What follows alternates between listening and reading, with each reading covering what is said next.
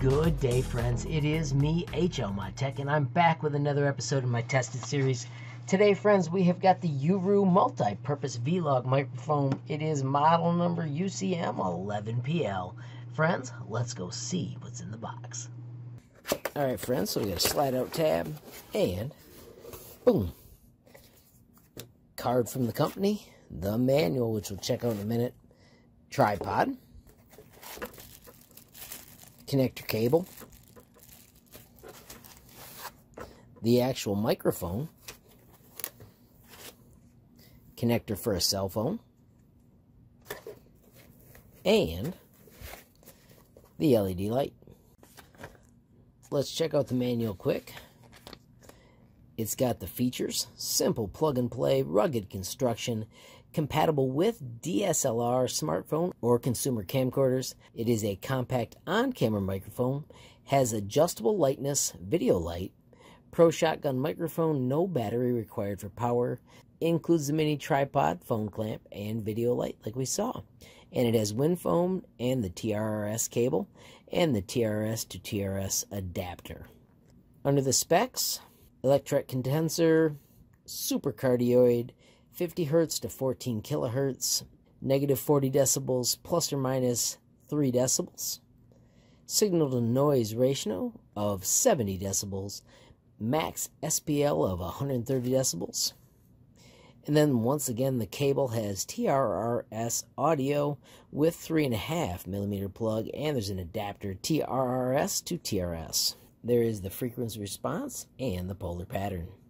Alrighty, friends, so right now we are recording with the 3D printer behind us, only about four feet. Nobody in the right mind should ever use this microphone with something that noisy beside them, but since we had the test, we can tell the difference between when it was there and when it wasn't there. And right now you'll hear what the phone is picking up compared to what the mic picks up when we plug it in a minute. So I think it might be actually a pretty cool project. So let's plug in the mic and see what it sounds like with it attached instead. Alright, so once again, this microphone has got a polar pattern that keeps the sound from behind from getting picked up by the mic as the mic is facing me.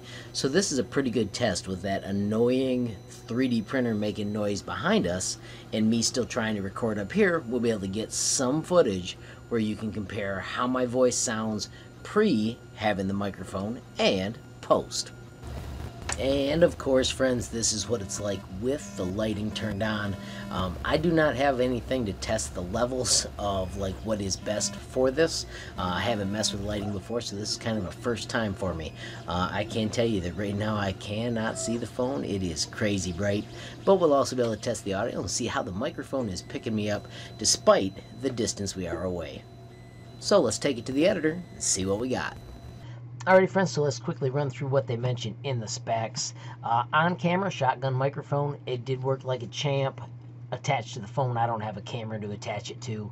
Um, plug and play LED light, that was super simple. It's easy to dial it to the number that you want. If you've got somebody working with you, that is a slick way for you to get the lighting the exact way that you want. I was just guessing, but it worked good with the green screen. It has universal compatibility, great with your smartphone, DSLR, uh, also with your PC using the little adapter that is included.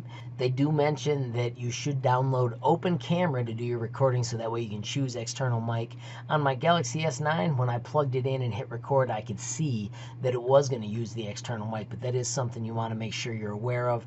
Like they say, it includes all the adapters if you want to run it from a PC, tablet, all the different ways. Don't forget that little tiny one that was hiding in the box. I did pull that out later. So if we look over at the images, they mentioned their cardioid polar pattern. Try and say that five times fast. And it did work. Uh, there was less noise when we had that out in front. Mentioned that there is no battery. They show you the tiny little adapter that I had to pull out later. It is compatible with your DSLR camera or your phone or your PC. They do mention they don't give you the adapter for the newer iPhones. Uh, make sure you have your own uh, when you're going to do that. Once again, the kits, it was mic, the Wind Foam, the TRRS to TRS adapter, the TRS cable, phone clamp, tripod, and that sweet little LED that lit the world up. Alrighty, friends, so after giving it a quick test, I found it pretty doggone useful. Uh, the way I'm always running printers and stuff, it's slick to be able to set up a mic, do a recording, and not have to worry about that background noise. Friends, if you found the video useful, make sure you give it a like. If you've got a question, comment, or suggestion, add it down below. If you haven't subscribed yet, what are you waiting for? Smash that subscribe button, and last but not least, hit that notification bell if you want to be the first to know when there's a brand new video from me, HL Mod Tech. Thanks for watching. Have a great day.